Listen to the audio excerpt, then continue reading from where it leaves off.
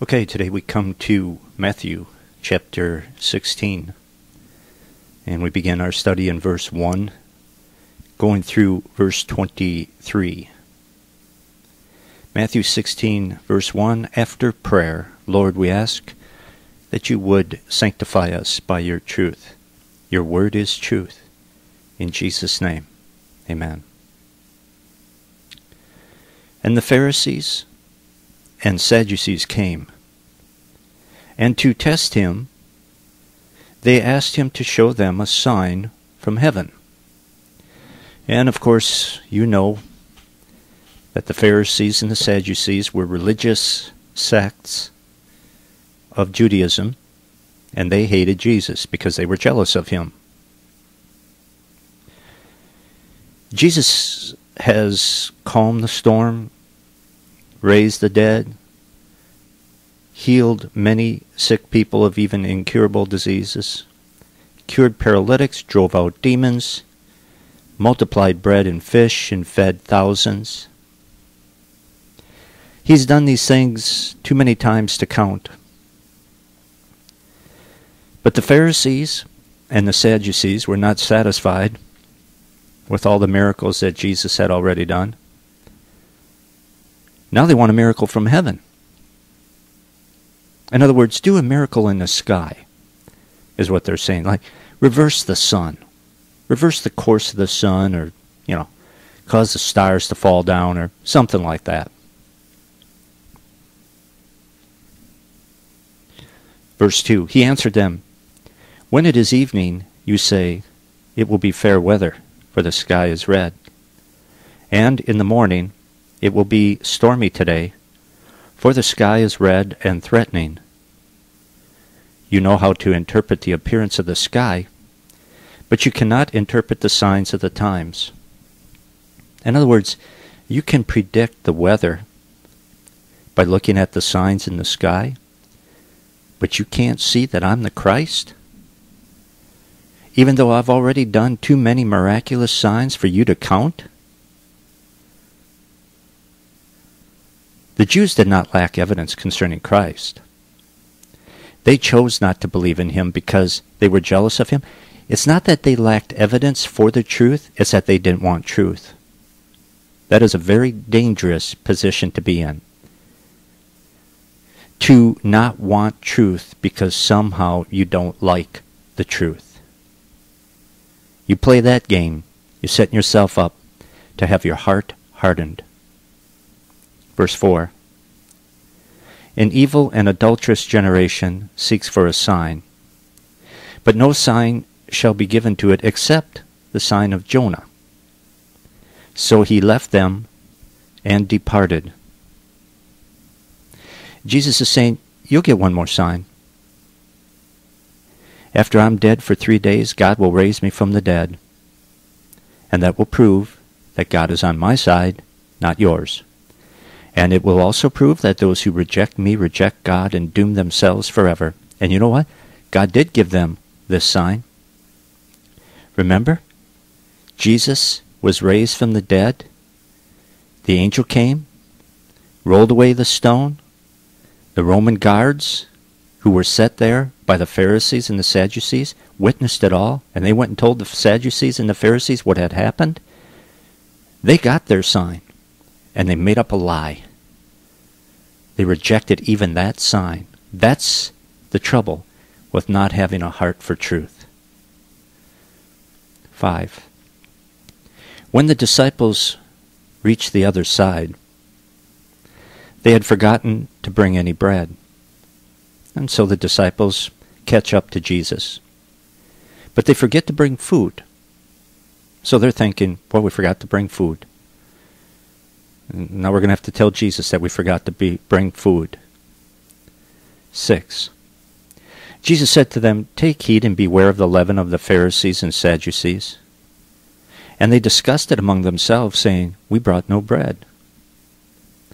So they think that Jesus knows about them not bringing food, and they think that Jesus is talking about the leaven or the yeast that is in bread. And they're thinking, well, Jesus knows we didn't bring any food, and he knows we're going to have to go buy some food, and he knows that we need bread, but he doesn't want us to go buy it from the Pharisees. That's why he says, Beware of the leaven of the Pharisees and the scribes. 8. But Jesus, aware of this, said, O men of little faith, why do you discuss among yourselves the fact that you have no food?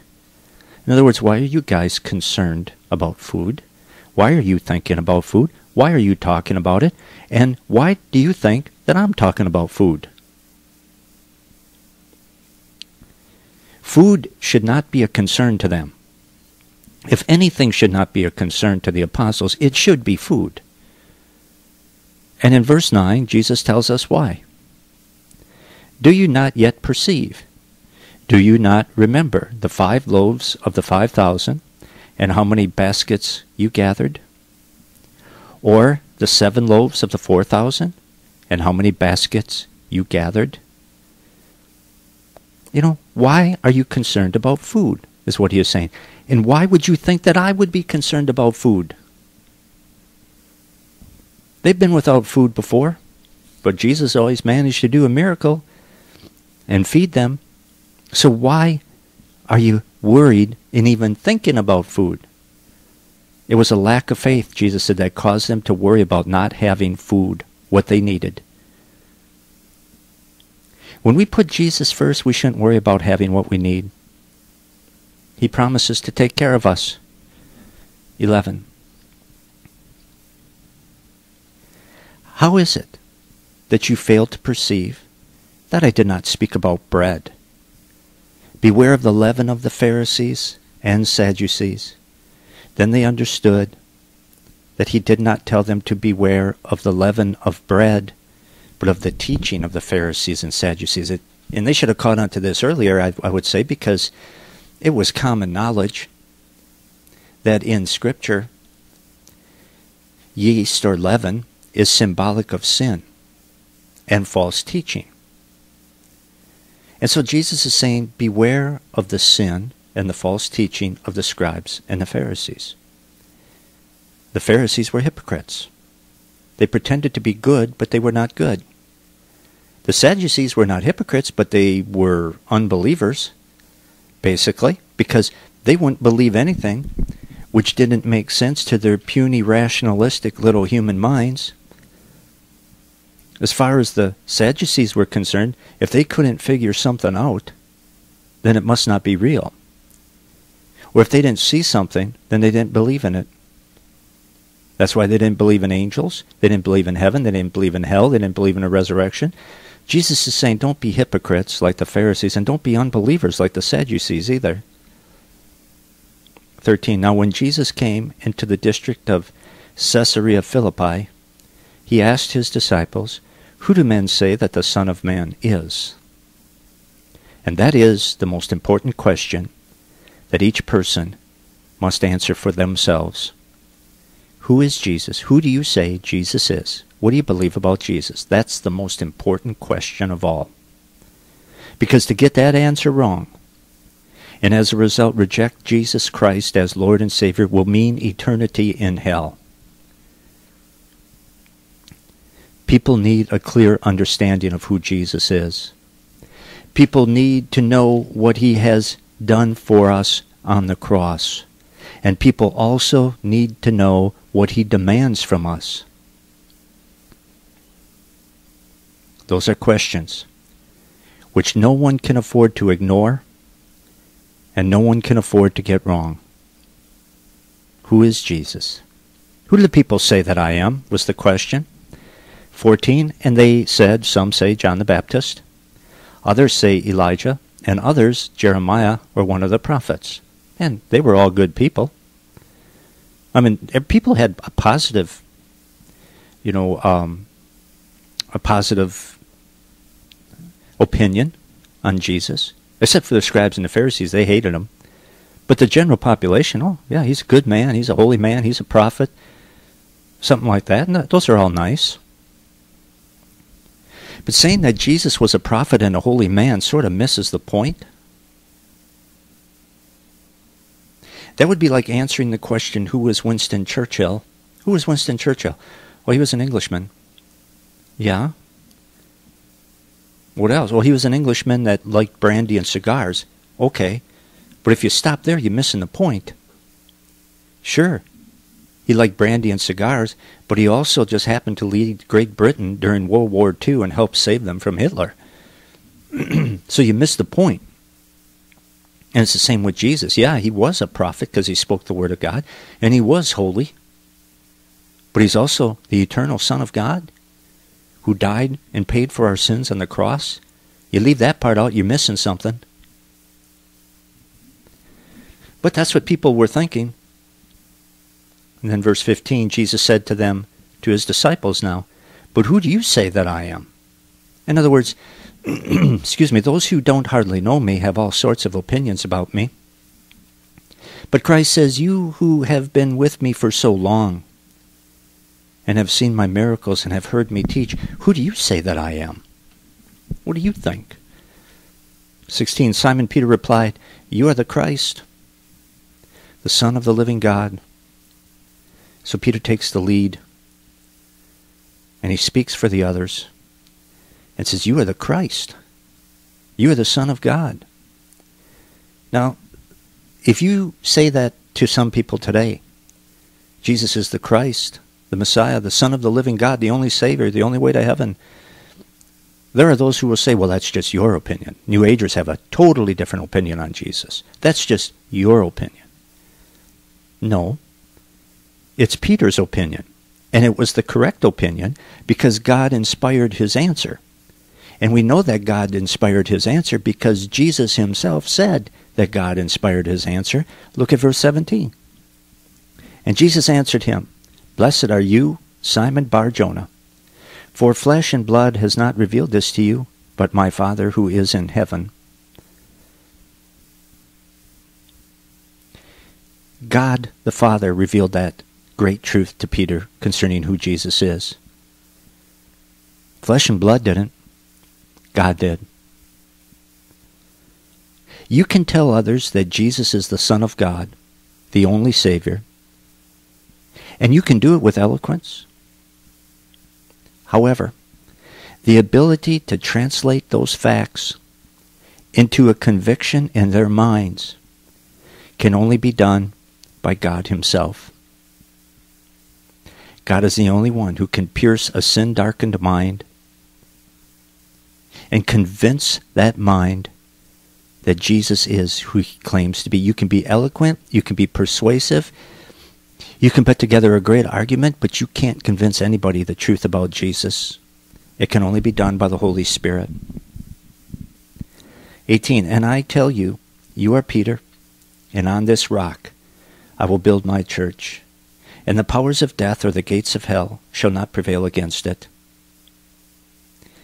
Jesus says to Peter, You are Peter, means rock, and upon this rock I will build my church.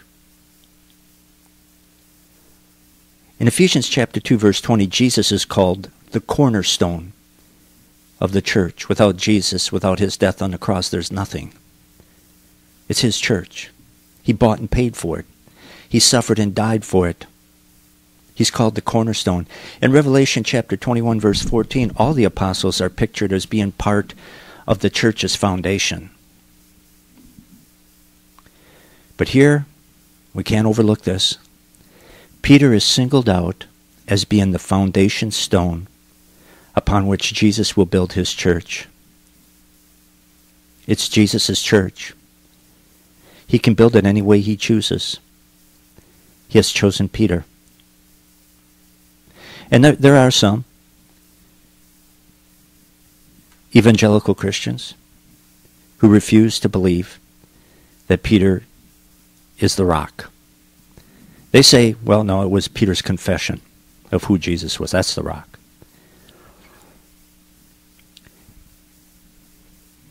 From the very beginning, the church has always taught that Peter is the rock that Jesus was talking about here. And it's not just Catholics. There are conservative, Protestant Bible teachers from the past and well respected ones in the present who say that Jesus was speaking to Peter and Peter is the rock. There can be no doubt about that.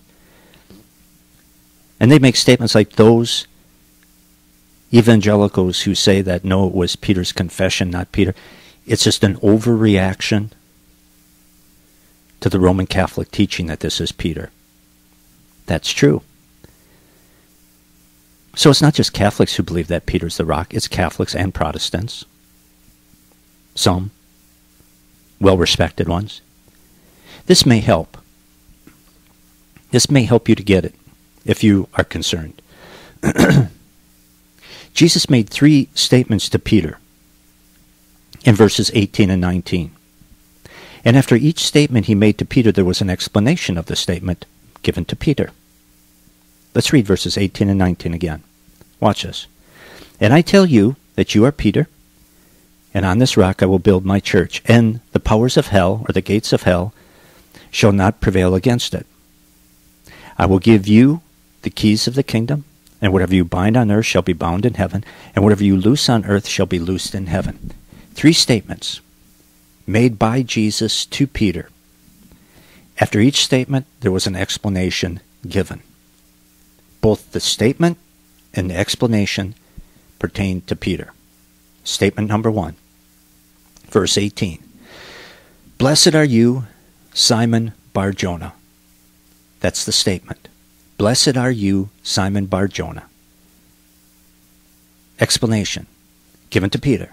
Flesh and blood did not reveal this to you, but my Father who is in heaven. Then skip down to statement number three. Jesus says to Peter, here's the statement I will give you the keys of the kingdom. What's the explanation? Given to Peter. You have the power to bind and loose.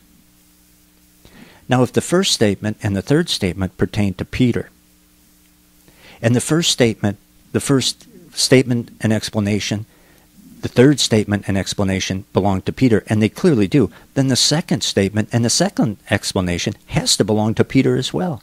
You are Peter. The second statement, which means rock. Explanation. And upon this rock, Peter, I will build my church. It's the same word. Don't be fooled by those who say that one means big rock, another one means little stone.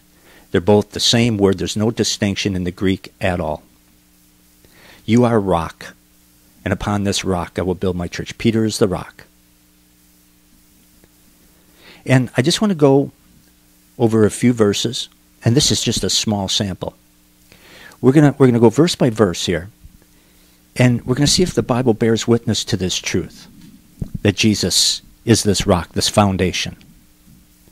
And we can begin right here. Matthew 16, 18 and 19. I say unto you that you are Peter, and upon this rock, Peter, I will build my church. And I will give you, Peter, the keys to the kingdom of heaven, and whatever you loose on earth will be loosed in heaven, whatever you bind on earth will be bound in heaven. Start there. Then you can go to Luke chapter 22. Jesus says to Peter, I have prayed that your own faith, Peter, may not fail. And once you have turned back, you, Peter, he didn't say this to anybody else, you must strengthen your brothers. Mark 6 7, God sent an angel to Peter to announce the resurrection of Jesus. Acts 1 13 through 26, Peter led the meeting which elected the apostle that replaced Judas. Peter led that meeting. Who's in charge here? Who's the rock? Acts 2:14 Peter led the apostles in preaching on the day of Pentecost. Peter took the lead in the church from the very beginning. He preached the very first message on the day of Pentecost. Very first message ever preached in the church was preached by Peter. Acts 15 Peter led the meeting which decided on which terms Gentiles would be led into the church. He led that meeting. Acts 5, Peter was the judge of Ananias and Sapphira. Remember that? Ananias and Sapphira lied. They lied to the Holy Spirit, and Peter pronounced judgment on them, and that judgment was backed by God in heaven. John 21, Jesus entrusted Peter with his flock feed my lambs, tend my sheep, feed my lambs. Acts 3, Peter did the first miracle on the day of Pentecost. After the day of Pentecost. Galatians 1:18 after his conversion. The Apostle Paul went to see Peter Throughout the New Testament, whenever the apostles are listed as a group, Peter's name is first. Sometimes the apostles are referred to as Peter and the Twelve. Well, that says something. And talk about preeminence among the apostles. Peter's name is mentioned in the New Testament more than any other apostle. It is mentioned 191 times. Second place belongs to the apostle John, 48 times. More on this in a little bit. Let's look at verse 18 again. There's something else I want you to see. And I tell you that you are Peter, and on this rock I will build my church, and the powers of death or the gates of hell shall not prevail against it. In other words, this is very important. Jesus is saying all attacks against the church will ultimately fail. Jesus will not lose. Cults will come and go. False teachers will come and go. Anti Christian atheists will come and go, but the church will survive everything the devil throws at it because Jesus will not lose. And if you're in the church, you will not lose either.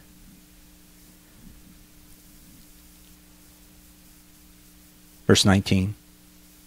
The third statement and explanation made to Peter I will give you the keys of the kingdom of heaven. What does that mean? And whatever you bind on earth will be bound in heaven. Whatever you loose on earth shall be loosed in heaven. Now, key to this whole thing is understanding these words of Jesus Christ the way Peter and the apostles and all Jews of that day would understand it. And I'm about to give you the definitive answer as to what this verse means. There is no doubt. In order to do that, I have to bridge the cultural gap, the language gap, and the historical gap, which every good Bible teacher ought to do anyway. But if I can bridge those gaps in your mind so that you can understand Jesus' words here exactly the way the apostles and Peter and the Jews of his day, Jesus' day, would understand it.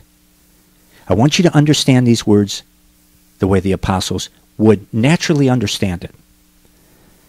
So let's read verse 19 again. I will give you the keys of the kingdom of heaven, and whatever you bind on earth will be bound in heaven, and whatever you loose on earth shall be loosed in heaven. Jesus gave Peter the keys to the kingdom of heaven.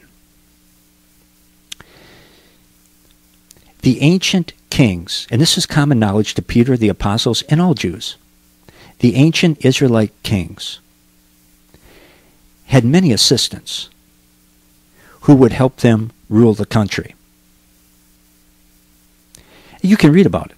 You can read, for example, read about David's reign. And there are scriptures that list all the men, a bunch of men, who were his ministers in his kingdom, servants who were in charge of different areas of the kingdom. They helped him rule, they were his servants. So, ancient kings of Israel, including David, had many assistants who helped them rule. But each king had one top assistant who was in charge of all the other assistants. And, and he was sort of like the prime minister. The other ones were all ministers, helpers. He was the head of them all. He was the prime minister. In fact, there's an example of this in Isaiah chapter 22. The king of Israel had a prime minister named Eliakim. You can read about it in Isaiah 22, exactly what I'm talking about here. Anyway, the king would give his prime minister complete control of the kingdom, total authority. He was, he was in charge of all the king's servants. He was in charge of all the other ministers. He had power to make laws and to enforce laws, to say what was right and what was wrong. The prime minister was given full authority to be the king's representative ruler. And here, get this now. That authority, common knowledge by the apostles and Peter and all Jews, common knowledge, that authority that the king gave to his prime minister was commonly known as the keys of the kingdom. So, when you see Jesus giving Peter the keys to the kingdom, the church, you know what they understood by that. Jesus was saying, Peter, I'm putting you in charge of my church. All my other ministers must answer to you. You have an anointing from me to bind and loose. That's what the keys of the kingdom mean. You have the power to bind and loose. In other words, you have, an, you have the power, Peter, to pronounce what is correct teaching and what is heretical. The keys of the kingdom also includes the power to discipline church members and if need be excommunicate them. And if you study the early church in the book of Acts, you're going to see Peter exercising this authority. And so, watch this now. Peter answered the question, Who do you say that I am? Peter identified Jesus as the Messiah, as the King. And then Jesus shows his royal authority by giving Peter something a king could only give, and that's the keys of the kingdom to his prime minister, and he put Peter in charge. But we're not through yet. Verse 20. It says, Then he strictly charged the disciples to tell no one that he was the Christ. Well, the disciples clearly understand that Jesus was the Messiah. They confess that.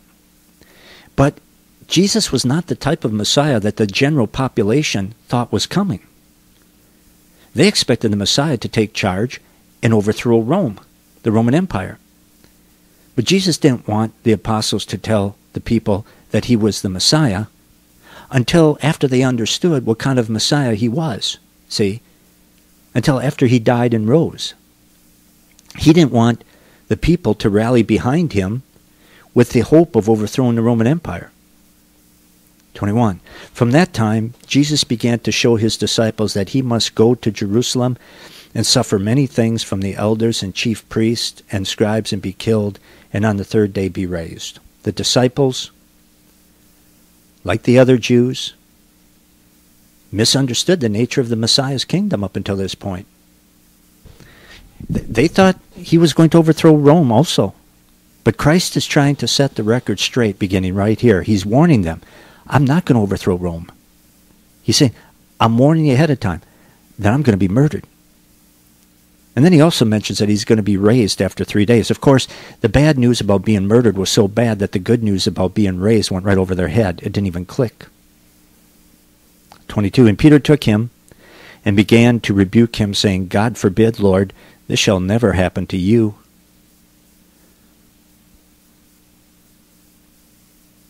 Boy, was Peter wrong. You see, Jesus gave Peter the authority.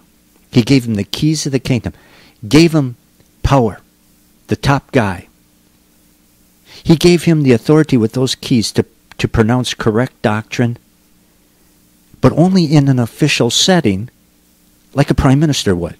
You know, not everything a prime minister says is law. Only when he is sitting in his chair as an official of the kingdom and he pronounces judgment or makes a law officially. But not everything a prime minister says or does is 100% accurate. And he, Jesus never said that Peter would be without sin. Jesus gave Peter the authority to pronounce correct doctrine in an official setting, but he never said that Peter would be without sin. That's not what the keys of the kingdom means. Giving P- Peter the keys of the kingdom did not mean that Peter would be sinless did not mean that everything Peter would ever say about anything or anyone would always be 100% correct. It just didn't mean that. Nobody understood it to mean that. The keys only guaranteed that when making a statement on faith and morals in an official setting, like a prime minister, Peter would be granted the ability to speak the truth. 22. And Peter took him and began to rebuke him, saying, God forbid, Lord, this shall never happen to you. Peter says, Lord, you are wrong. Well, what kind of a nutty statement is that? Lord, you are wrong? A Lord can't be wrong. But it gets even worse. Jesus, no way are you going to be crucified. Or look at Peter, or look what Jesus says. 23. But he turned and said to him, to Peter, Get behind me, Satan. You are a hindrance to me, for you are not on the side of God, but of men. You don't know what you're talking about. You know the problem with getting upset with God because he doesn't do what we want him to do? The problem with getting upset with God or thinking that we know more than God is that it is, number one, blasphemous. But also, we are not as smart as God. God has all the facts. We do not. So it's foolish to think that we know better than God. You know, if Peter could have gotten his own way in the flesh, Jesus never would have went to the cross. He never would have died to pay for our sins, and we, along with Peter, would all go to hell. Okay, we'll pick it up in verse 24 next time. Until then, so long, everyone.